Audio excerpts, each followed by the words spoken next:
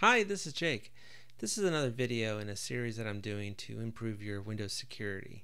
Today I'm going to show you how to set the uh, screensaver to kick on on your computer, your Windows 10 computer, and how and have it lock out the user and require a password in order to get back in.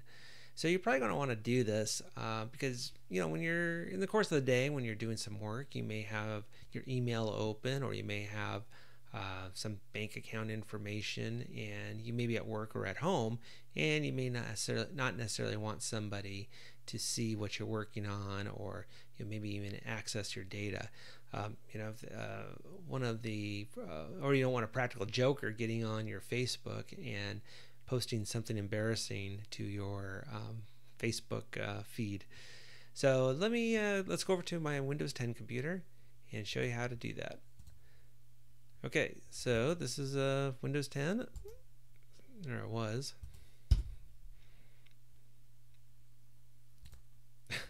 there we go.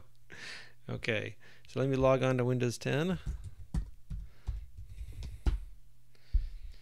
Okay, so to get to the screensaver settings, um, the easiest way to do it uh, for me is just to get to the desktop, right click, and go to personalize. All right, once the, the personalized uh, screen comes up, the settings, I want to go to lock screen and I want to scroll down to screensaver settings. And here I have, uh, I first, first step is to select a screensaver. I'm going to go ahead and select uh, Mystify.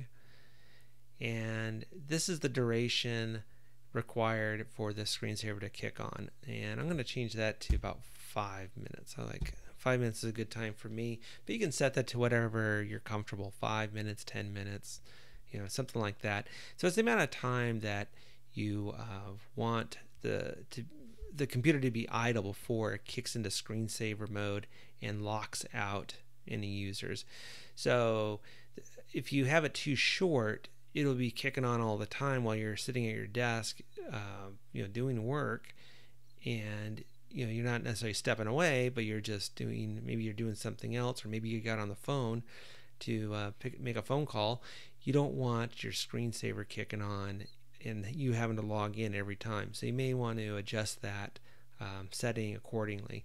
So the other thing is you have to click this um, this checkbox on resume display login screen and that's going to give you the password prompt and that's about it. All you have to do is just close your screens and wait, and it'll uh, kick on as uh, you'll see. Now, the other way to do it uh, is to go to settings by clicking on the start button.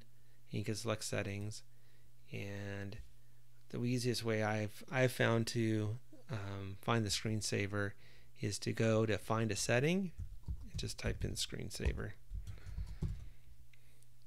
and search your settings for uh, screensaver and I have changed screensaver so I'll click on that. And there you go I'm in the same exact spot. So that's about it. So in five minutes of inactivity the computer will uh, switch over to um, screensaver and when someone tries to get back on the computer it's going to require a password that easy. It's a very basic thing to do. Uh, I think it's very smart and you know, uh, just one more thing to improve your Windows security. So thank you for watching and please subscribe to my YouTube channel and leave comments below. Thank you very much.